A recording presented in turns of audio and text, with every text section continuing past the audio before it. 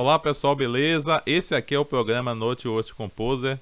Veja bem aqui, ó, é o programa que a gente usa para escrever arranjo musical. É exatamente essa versão aqui, versão 2.75a.2.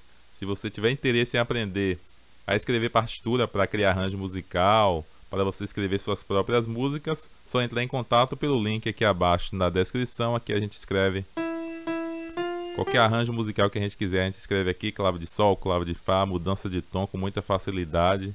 Aqui é tranquilo.